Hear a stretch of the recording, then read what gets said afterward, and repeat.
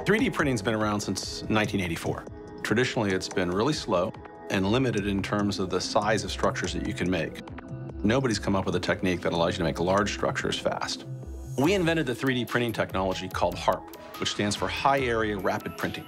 That allows you to print structures the size of you in a couple of hours. We're going to make all sorts of things with this printer, ranging from construction materials, materials that are used for cars, materials and parts that are used for airplanes, devices that are used in the medical field, even your clothing.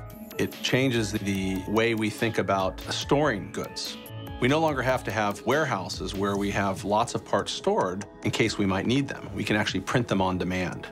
You need a thousand parts, you print a thousand parts. You need one part, you print one part. That's a big deal because that transforms the whole field from prototyping to manufacturing.